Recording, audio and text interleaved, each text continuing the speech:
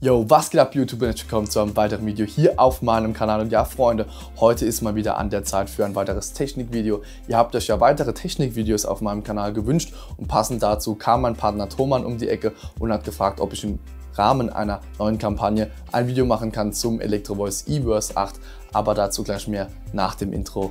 Bis gleich.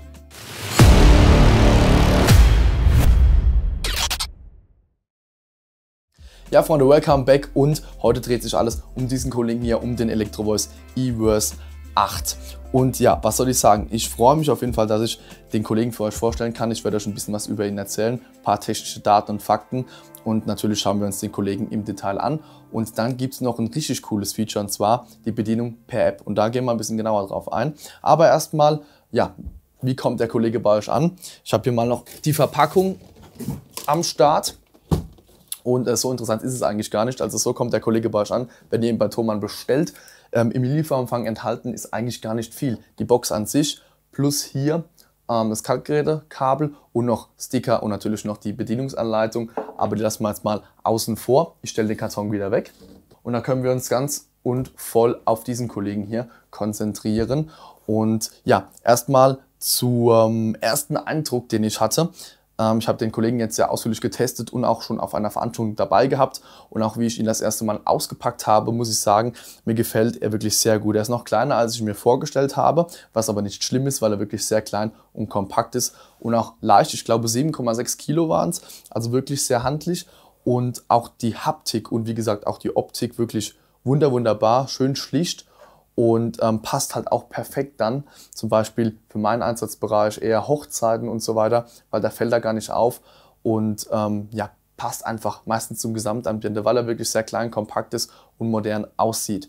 Ähm, zur Haptik auch wie gesagt zum Beispiel hier der Tragegriff richtig gut gelungen, unten mit so Gummi noch dran und fühlt sich einfach richtig gut an. Ansonsten vorne auch alles sehr schlicht mit dem Electro Voice Logo und auf der Rückseite befinden sich dann noch ja, die verschiedenen Anschlüsse, das ganze Anschlusspanel, was auch hier wirklich sehr cool gelöst ist. Und zwar haben wir hier so einen kleinen Schutz und so ein Gummi mit hier so eine Fassung. Da kann man das einfach draufsetzen. Das saugt sich auch so ein bisschen fest und ähm, ja, ist wirklich optimal, um die Anschlüsse vor Staub, Dreck und so weiter zu schützen.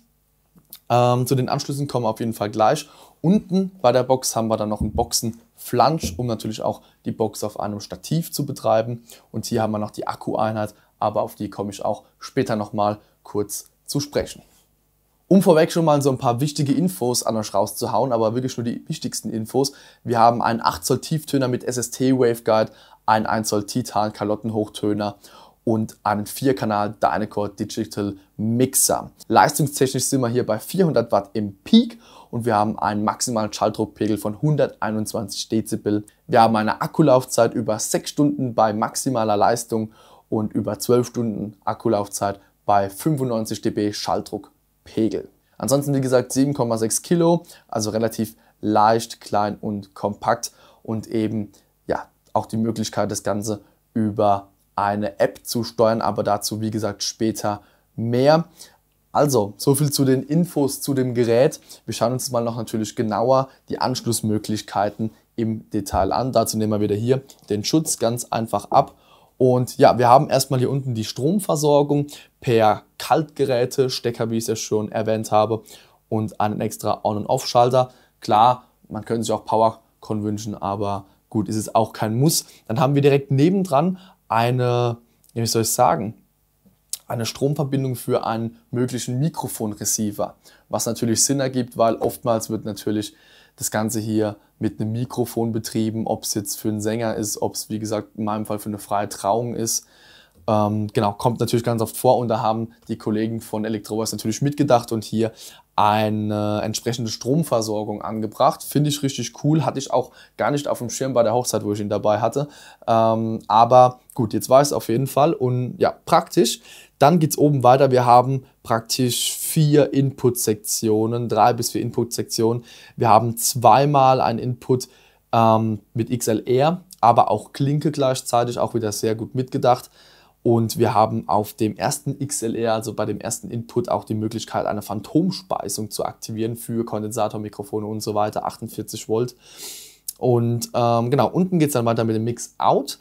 Das ist natürlich zum Weiterschleifen an weitere Boxen, um eben da das Signal weiterzugeben. Und wir haben die Möglichkeit, einen Food Switch ja, hier anzuschließen und die Box mit einem Food Switch zu betreiben und zum Beispiel Effekte oder sonstiges über den Food Switch zu aktivieren. Ähm, nebendran haben wir hier noch eine Stromversorgung per USB-C, also ums Handy zu laden. Ähm, ja, ist mittlerweile eigentlich gang und gäbe, hat auch die Teufel Rockstar R2, die ich ja privat auch viel benutze, hat es zum Beispiel auch. Ist auf jeden Fall sehr cool, dass die Option mit dabei ist. Und um auf den Input 3 und 4 natürlich noch sprechen zu kommen. Ähm, genau, hier haben wir die Möglichkeit, per Bluetooth uns zu verbinden, eben mit dem Handy oder einem anderen Device, aber auch nochmal ja, kann man auch mit AUX rein. Ne? Das ist mittlerweile natürlich ein bisschen äh, ausgestorben, weil die meisten Handys haben USB-C, gar keinen AUX-Anschluss mehr. Gut, mit Adapter und so weiter, klar kann man das auch regeln, aber ist natürlich eher die Seltenheit. Man kann natürlich auch einen MP3-Player anschließen oder einen Walkman oder keine Ahnung. Ne? Also man hat die Möglichkeit auf jeden Fall und äh, das ist auf jeden Fall schon mal sehr, sehr gut. Ja, ansonsten äh, kommen wir nochmal hier zur unteren Seite und neben dem Boxenflansch, wie schon erwähnt, haben wir hier die Akkueinheit. Da haben wir hier so zwei Schrauben und die müssen wir dann eben aufdrehen, um an den Akku heranzukommen. Das dauert auch ein bisschen.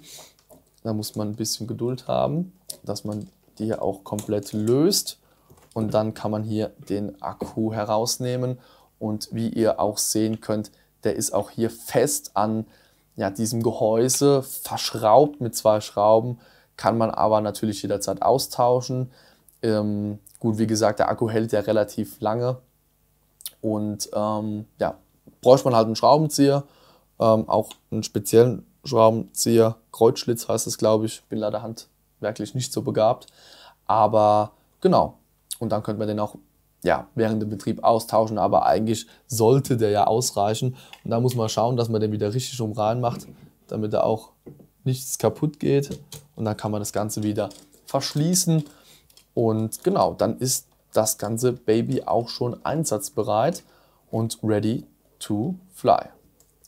Ja, Freunde, dann kommen wir mal zu der etwas spannenderen äh, Sektion und zwar zur App, zur Steuerung über die App. Und das ist wirklich genial. Also, das ist natürlich ein riesen Pluspunkt hier über die QuickSmart App, die euch einfach im Apple App Store oder im Google Play Store herunterladen könnt, kostenlos, ja, dass man darüber die Box steuern kann. Und da kommt man natürlich noch zu einer wichtigen Einheit hier bei den Anschlüssen, die ich nochmal extra jetzt nennen wollte. Und zwar haben wir hier natürlich auch ein ja, ähm, Display, wo wir alle Informationen angezeigt bekommen. Nebendran haben wir noch den ja, Master äh, Volume Knopf sozusagen. Da können wir nicht nur die Gesamtlautstärke einstellen, sondern wir können auch noch Änderungen am DSP vornehmen. Das heißt, wenn wir hier ins Menü reingehen, können wir ähm, praktisch alle Funktionen, die wir in der App steuern können, auch nochmal hier separat ansteuern. Also eben den EQ und ähm, genau, die Effekte kann man da auch ansteuern und so weiter. Also man kann da alles einstellen. Ähm, auch verschiedene Presets, die hier schon drin sind, da kommen wir aber gleich nochmal dazu. Also es geht alles und ähm, ist auch überhaupt kein Problem. Um die App zu benutzen, muss man sich erstmal per Bluetooth verbinden. Das ist aber ganz leicht. Ich blende euch im Hintergrund ein. Da muss man ähm, genau beim Input 3 und 4 die Taste gedrückt halten und kann sich dann per Bluetooth ähm, genau verbinden und ähm, genau kriegt dann hier auch ein, eine ID angezeigt und so weiter. Aber das ist ganz easy, ist auch überhaupt nicht schwer und ähm, genau, dann ist man eigentlich schon ready to fly und kann direkt loslegen mit der App. Und jetzt gehen wir mal in die App hinein und wir schauen uns mal an, was man hier so machen kann. Also, wir sehen als allererstes erstmal hier unser Gerät, was wir auswählen können. In dem Fall habe ich jetzt den eVerse 8 nur auf der Liste. Ähm, man kann wahrscheinlich auch zwischen verschiedenen Geräten switchen, wenn man mehrere Geräte hat, die eben mit dieser App kompatibel sind. Und wir gehen in diesem Fall erstmal auf ja, den eVerse 8. Noch eine Kleinigkeit, die mir gerade noch zwischendrin einfällt. Ähm, wenn ihr die App das erste Mal benutzt, das aller, allererste Mal, dann müsst ihr erstmal noch ein Firmware-Update machen. Das ist normal, dauert dann ein paar Minuten, aber danach seid ihr dann auch ready to fly und können dann auch direkt loslegen. Und jetzt gehen wir weiter hier in die App hinein und zwar haben wir so ein Startbildschirm, so ein Main-Bildschirm, sage ich mal, wo wir den Gesamtmix schon mal einstellen können, sowohl ähm, die Gesamtlautstärke hier, als auch beim EQ schon mal den Bass mitten und den Treble, also die Höhen. und können da dann direkt schon mal loslegen, aber wie gesagt halt eben auf den Gesamtmix. Dann haben wir unten rechts noch so einen kleinen Button, da können wir hier so ein extra Menü nochmal aufmachen, wo wir auch nochmal verschiedene Funktionen haben. Und zwar können wir zum Beispiel einen Modus einstellen. Musik, Live, Speech oder Club. Ähm, Finde ich richtig cool, dass das gegeben ist. Dann können wir die Funktion einstellen, soll man es als Mixer verwenden oder Basic. You're about to change the global mode of operation. Be aware that this may include drastic changes of the volume settings. Also haben wir auch nochmal eine Möglichkeit, ähm, die Funktion einzustellen. Und ähm, dann ja auch noch eine Location. Also als was wird der äh, Monitor benutzt als Mon äh, ja gut, in dem Fall habe ich jetzt Monitor gesagt, als was wird die Box benutzt? Monitor, Kickback, Kickback, Tripod. Also können wir da auch nochmal individuell einstellen und bei Select X Over, da muss ich jetzt auch ein bisschen passen. Ich bin jetzt auch nicht hier der ähm, PA-Junkie, ähm, aber hier haben wir auch nochmal verschiedene Möglichkeiten, das Ganze einzustellen. Den Herzbereich und so weiter und so fort. Aber da bin ich jetzt auch nicht äh, der Profi drin. Da möchte ich mich nicht zu weit aus dem Fenster lehnen. Ähm, genau, und dann unten können wir noch den Gesamtmix muten. Und dann können wir auch schon mal ins Detail gehen. Und zwar, wenn wir auf Edit Mixer gehen, sehen wir hier, können wir die einzelnen Kanäle einstellen. So, wenn wir jetzt mal auf den Kanal 1 drauf gehen, dann sehen wir hier, wir haben nicht nur den EQ, sprich Bass, Mitten und Höhen, sondern wir haben noch ganz, ganz viele andere Möglichkeiten. Zum Beispiel können wir Comp, ich gehe davon aus, es ist ein Kompressor, sollte es eigentlich sein. Wir können einen Kompressor ja, einbauen, was wirklich mega ist. Ne? Also super, super. Funktion, dass die dabei ist, finde ich echt wirklich klasse. Ich habe es jetzt nicht ausführlich getestet bei der Hochzeit, aber dazu komme ich später, wie gesagt, nochmal. Ähm, da hat mir auch ein bisschen die Zeit gefehlt, aber prinzipiell die Funktion, dass sie dabei ist, ist mega. Dann können wir auch die Effekte, wo ich gleich nochmal dazu komme, da gibt es nämlich nochmal einen extra Punkt, einen extra ja, Menüpunkt hier ähm, in der Software, in der App. Ähm, genau, können wir hier aber auch die Intensität einstellen sozusagen. Und ähm, hier haben wir noch DACA. Da musste ich auch googeln, was das ist, weil das habe ich jetzt leider nicht gewusst. Und zwar, wenn ich jetzt auch mal hier das Ganze verstelle, seht ihr hier DACA 2, 3 bis 4. Sprich, ähm, man kann einstellen, dass jetzt der Kanal 1 sich von den anderen Kanälen abhebt.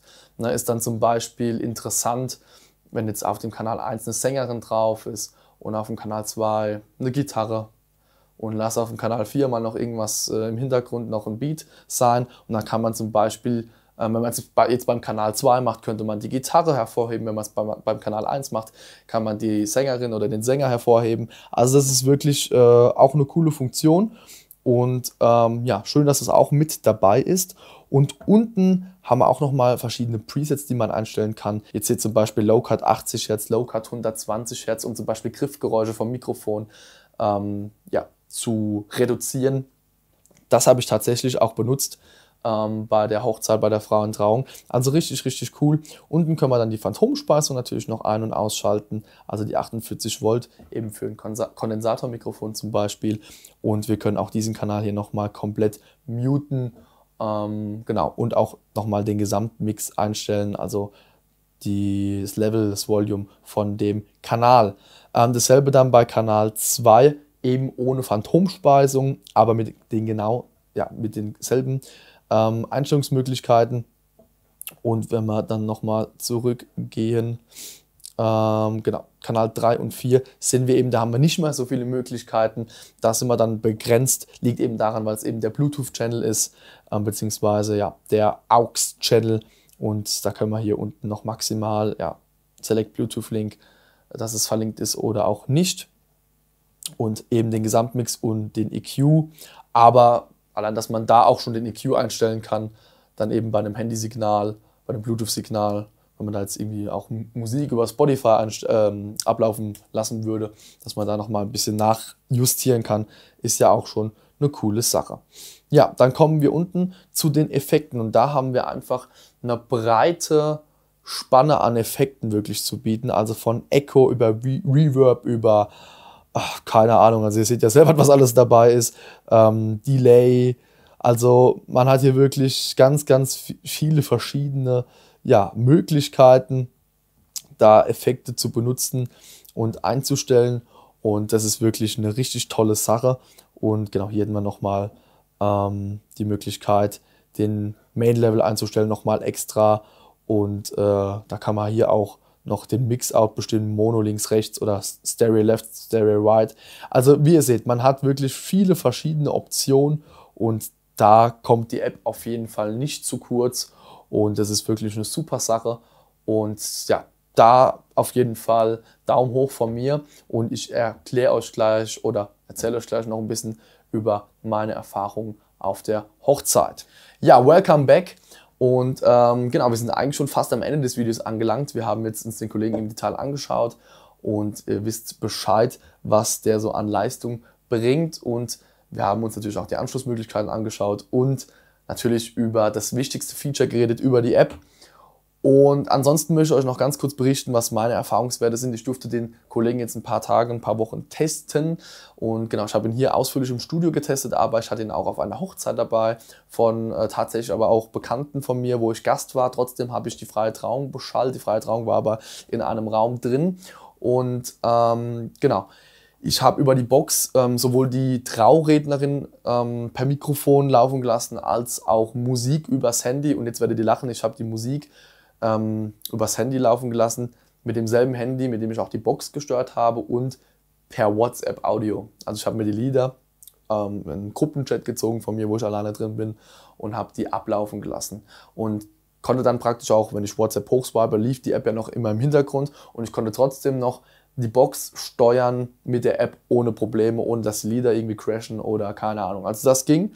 Also ich konnte auch praktisch den Bluetooth-Kanal steuern, EQ anpassen und so weiter. Habe ich aber alles im Vorhinein schon gemacht. Aber ich sage mal so, wenn da natürlich nochmal 80 Leute im Raum sitzen, ist auch nochmal was ganz anderes. Gerade natürlich in Bezug auf die Traurednerin.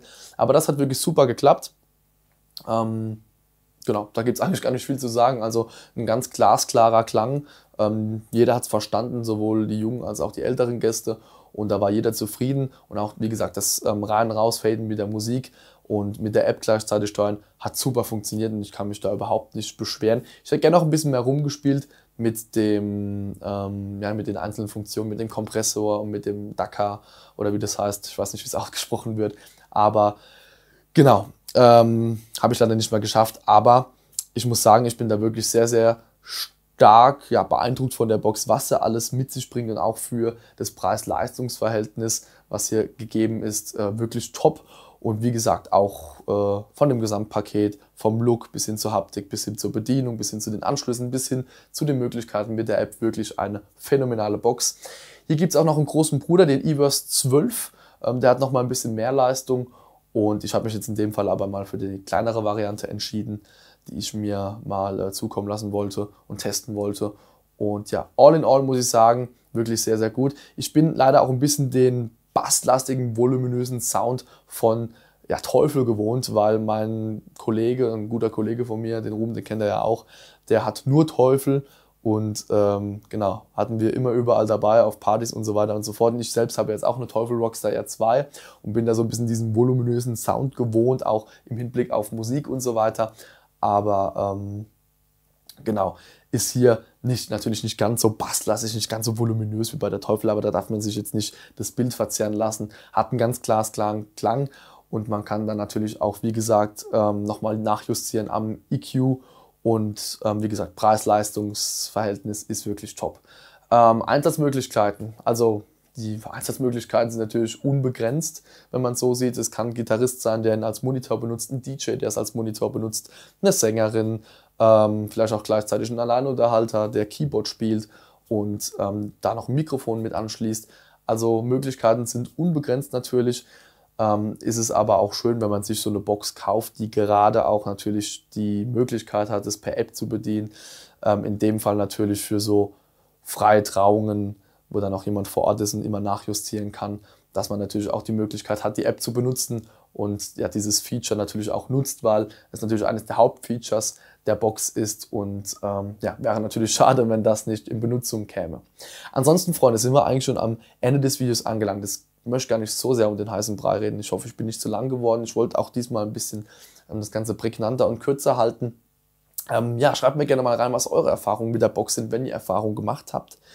Ähm, gerne auch mit dem großen Bruder. Was ist eure Meinung oder Habt ihr vor, euch die Box zu kaufen? Habt ihr noch Fragen? Die beantworte ich natürlich auch gerne in den Kommentaren, sofern ich eine Antwort darauf weiß. Und ähm, genau, ansonsten lasst dem Video gerne ein Like da und natürlich auch ein Abo auf dem Kanal, um keine Videos mehr zu verpassen. Ein Riesendank geht an meinen Partner Thomann, die ja auf mich zugekommen sind und mich gefragt haben, ob ich mit ihnen zusammen diese Kampagne starten möchte. Und ja, ihr findet natürlich auch den Link zur dieser Box in der Beschreibung und das Ganze ist natürlich auch ein Partnerlink. Das heißt, wenn ihr über diesen Link bestellt, bekommt ich auch ein bisschen Provision und ihr unterstützt mich damit ein bisschen.